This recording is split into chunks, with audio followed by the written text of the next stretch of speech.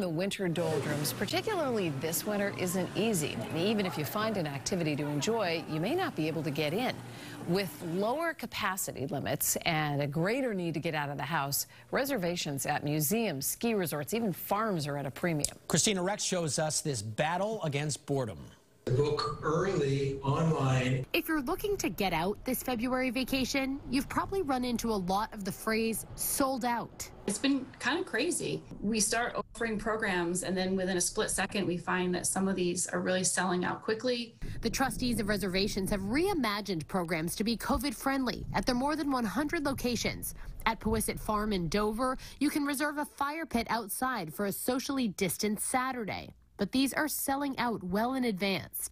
Need to get out of their houses and they're feeling a little cooped up. And, you know, it's been a year of sort of living with COVID and people are really just trying to sort of get out and have some normalcy. The opening of the Museum of Science really has been an eruption of joy. The Museum of Science reopened February 8th at reduced capacity, and tickets have sold out every day this week to have families learning together and having fun together.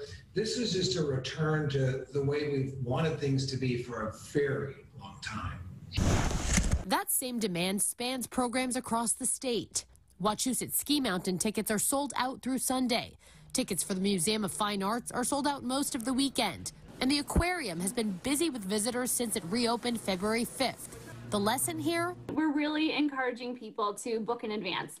At least two weeks in advance is what most of these organizations told us. So if you're looking to book a trip to any of these museums, they say check online two to four weeks before you plan to go.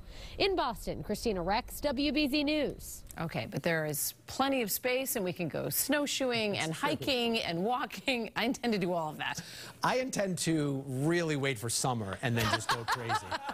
I mean,